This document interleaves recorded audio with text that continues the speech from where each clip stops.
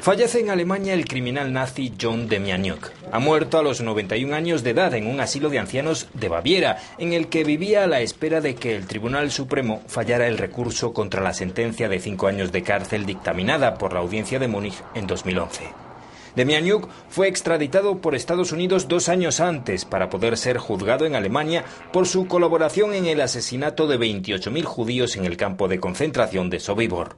No era su primer proceso. En 1988 fue condenado a morir en la horca en Israel como presunto Iván el Terrible del campo nazi de Treblinka, sentencia revocada cinco años después al probarse que esa identidad correspondía a otro ucraniano.